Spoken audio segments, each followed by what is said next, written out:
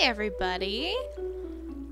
We made it to the end of the series, so now I can put on my brand new skin. We watched uh, all the extended editions of Lord of the Rings for New Year's Day, and by Return of the King, I, I decided that for some reason I wanted to make a new skin. So here it is. I've been excited to use this one. Anyways, we are here at my first build of the 30 day challenge that I just completed. The very first part of this video is just going to be touring the different builds that I did and looking at how like I've grown. So our first one was this fountain. And like that was a pretty great and promising start, I do believe. Um, one of the things I learned with this was actually that you can plant flowers on farmland. And that was pretty awesome because it has definitely contributed to a lot of my builds in the rest of the series. On day two, we did this library back here in the woods.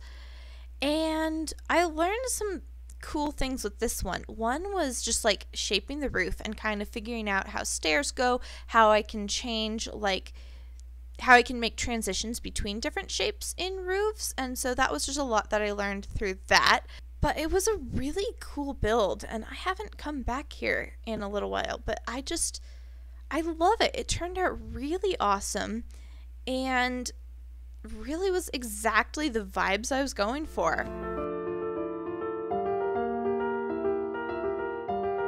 On day three, we built a campsite right out of outside of town on this little hill by the gatehouse. And I got to explore some creative things, like with how I put together the uh, campfire and just like using wool to build this and trying to figure out what would make it look the most tent like. My fourth build was this medieval flower shop, and it was definitely my weakest build by far. Um, I hadn't necessarily like put together some of the ideas about structural building, um, and yet I still like I love the interior. I love some of the little details I was able to throw in here. I put some storytelling building to use with this um, loft area where like in my little storyline for this shop someone is learning how to read teaching themselves how to read as an honorable mention too it's the only build that ended up with any sort of basement I initially did the flower shop and the stable backwards out of order. Um, so this was technically the fourth build that I worked on, but it was the fifth day in our challenge. Um, and I loved, like, the challenge was to use a color palette using mangrove and melons. I put this in here because I just love this color palette. I love how they go together. But this is one where I really started utilizing a little bit of like adding shapes to the basic floor plan, um, even just in this like entryway area. Um, which gave me more space to work with too within the actual stable area. I also added some exterior details, a water trough, our pile of hay bales. And this is where I feel like I started getting the feel for what looked good in a build. Our next project was this park area. The wishing well in the middle came later, um, but we really worked with just like finding the space for this, terraforming it, and turning it into a manicured lawn type area. And then we walked right next door to work on our diner. This is by far my favorite of my earlier builds. I learned a lot of different ideas with this, um, from lighting with the end rods to this very small interior. I learned, I think, a lot about interior detailing with this one, um, and just started like thinking through some of my own ideas for it. On day eight, we worked on this beach hut. And this was fun because like I had to figure out some environmental stuff as far as like adding lighting in that was like a little more believable and just this little vacationy area. It was also the first build that I worked on that was circular and that was pretty uh, terrifying for me. But I really started enjoying working with circles after this point. This one was inspired by the farmer's market in my hometown. Um, and was just a lot of fun to work on because I got to think about like little tiny details and like what an area would look like to sell different items. I did want to point out that I did make this change eventually um, from how it originally was with just like piles of wool in the middle to more of a table display with wool laid out um, kind of looking a little bit more like, you know, skeins of yarn, and then along with the tools to work with it.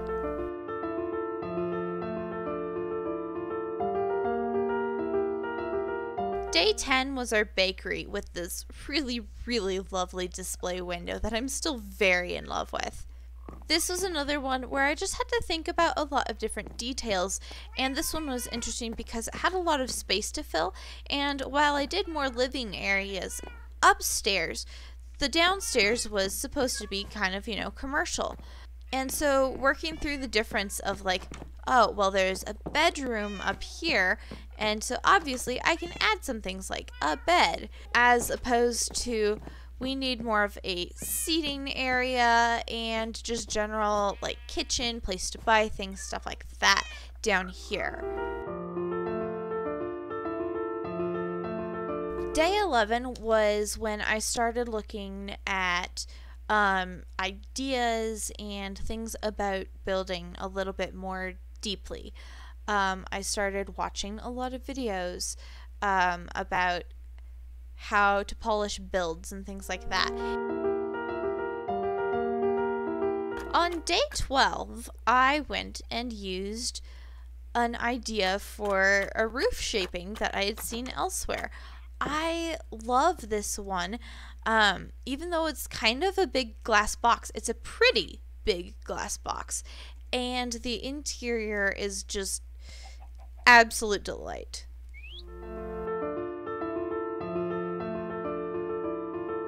On day 13, we worked on the longest and most tedious build, the restaurant. But it's so rewarding. I mean, look at the gradient on that roof. It's so pretty. Um, I really leaned into working on framing with this one. And while this isn't the most detailed interior that I've done, I really, really love how this all pulled together, especially with the sandstone in the walls and the dark oak and just the general colors everywhere in this build. Color wise, I would say that this one is probably definitely my favorite.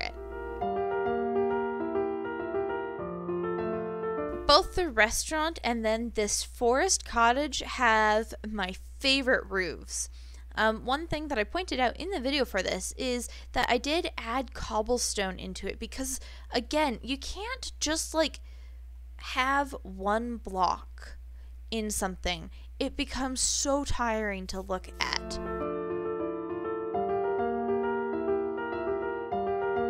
On day 15, we worked on this pond. Um, it was a little bit more of an environmental type experiment. But you can see that I really um, started using the ideas from the wishing well for an underwater scene that I got, and then turning it into something as large as and, and full of life as a pond. On days 16 and 17, we did two builds in contrasting styles.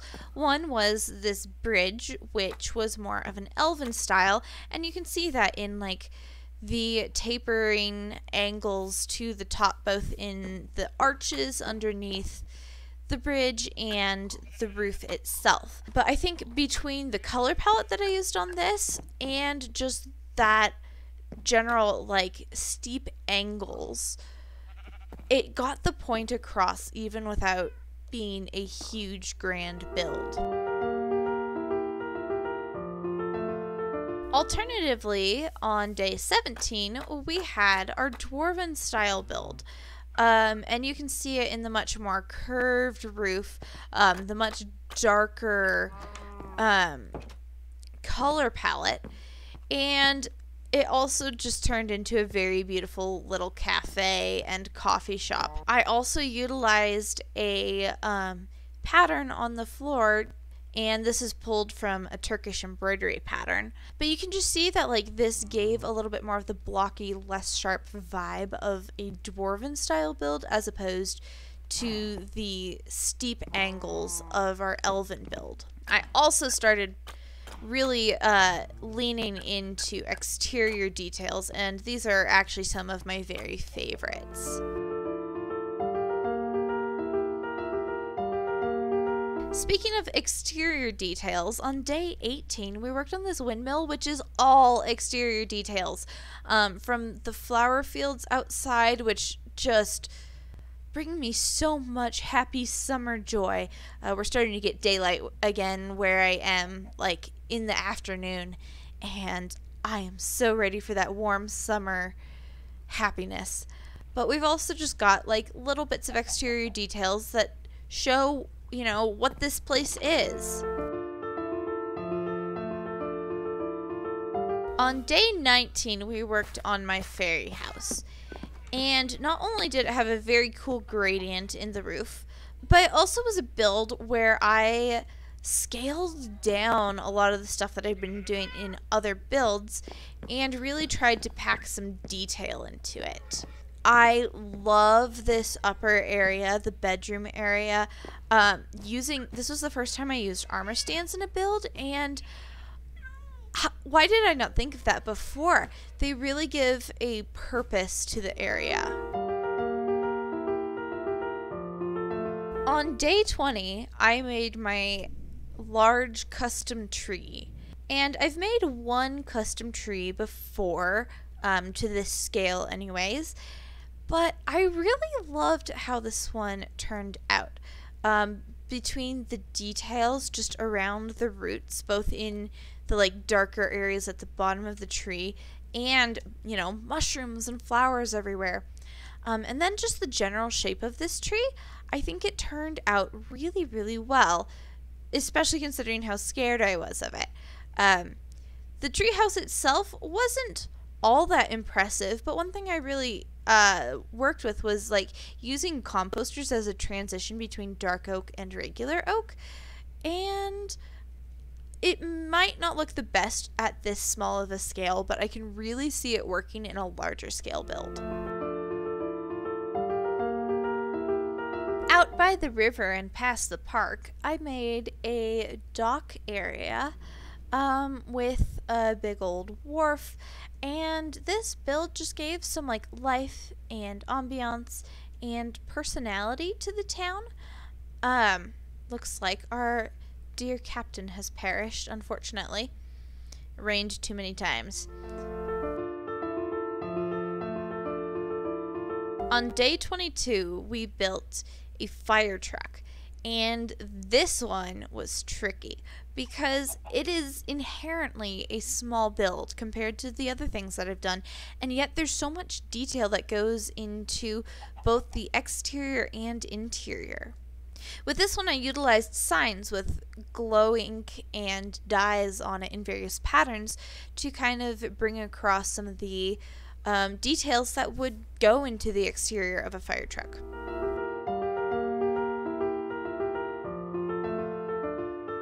With this ice cream store, my goal was for it to be bright and magical. Um, I also used a copper gradient in the roof, um, but I don't like my gradients just being lines, though I think that looks awesome as you can see in the restaurant. But I worked on um, kind of texturing this gradient a little bit. But this is another interior that I'm very proud of and I think gets gets the idea across of what's actually going on here. On day 24, we built some circus tents, and this was a very different vibe than really what's going on in the rest of this town. In this one, we used a lot of bright colors that we're not necessarily using so generously in the other builds, but also I had to think about like what would the actual like texture of a cloth build look like um, because it's not going to be that straight up and down um, wall. On day 25, we finally built the entrance to this town. And this was another area where I really realized that I had to add texturing to a um, block that was my main block in the build because otherwise you just could not look at it. The next few builds really worked on getting me to be more comfortable with organic shapes in my builds because that is something that I was really struggling with at this point. Um, so on day 26, we made this witch's house, and it has a cute little witch's hat on top of it. The next day, we also added some mushrooms around the house, both to give, you know, the vibe of the house itself, but also as another practice in certain organic shapes that maybe I wouldn't use in other builds in this challenge. Um, my particular favorite from this was this twisty top. Day 28, we worked on this orchard, and that not only gave me just an idea of like how to um, give hints as to what like is intended with this tree that I'm building, but also just gave me a lot of repetitive practice in organic shaping once again. Day 29 was another personal favorite. Um, this aquarium built with like modern style and structuring. Between like finally getting to experiment with like outsetting colored um, contrast pieces from the main build, um, I got to play with a terracotta patterned floor again um, and just have a beautiful, beautiful aquarium. And then for day 30, we had a huge terraforming project.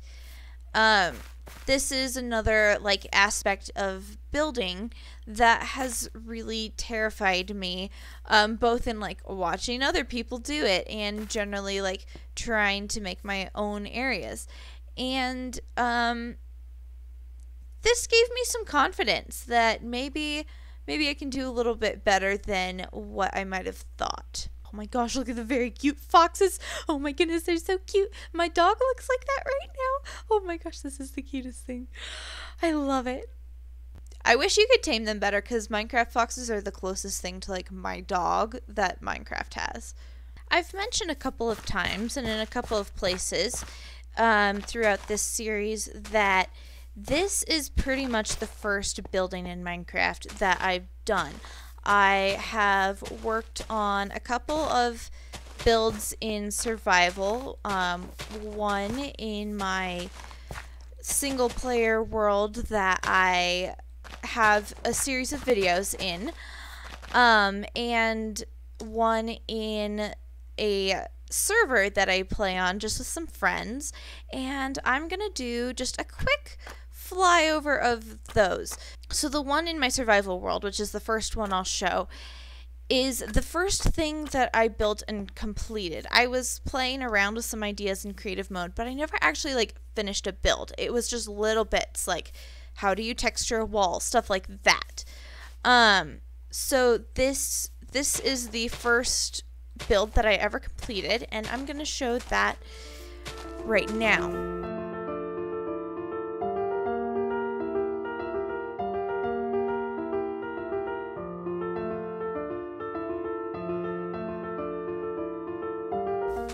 So the other build that I've done outside of this series is on a server with friends and I worked on like the first bit of building it um, in the video in which I announced this series.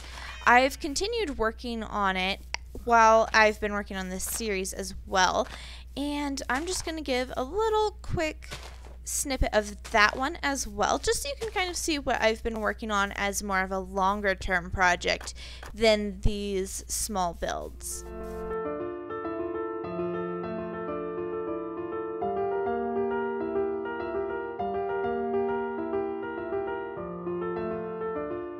This building challenge really was a um, practice in basic building in Minecraft. And I feel like I've grown a lot in my building abilities um, and come a long way from some of the very basic structures that I started with. I'm sure in the future I will continue to do building challenges or at least building videos that are um, a little bit more detailed, a little bit more advanced, things like large organic statues. Like, I want to build a dragon someday. Um, and I'm sure that I will have videos and series coming up of that, but um, I'm not going to be doing them as a build a day type videos because that was a lot and I do not need to put myself through this again. I hope that you enjoyed this series and that this video was a good little like summary of what we did with it.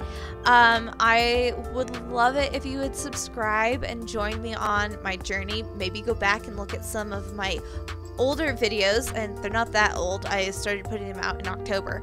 And I will be releasing some more content in probably a couple of weeks. I'm so excited to have you guys along for this beautiful, beautiful journey that is Minecraft. It means so much to me that um, so many of you have come along. Thank you to those who have been with this series from day one, to those who were building along, and to some of you who joined later um, and were so encouraging and kind.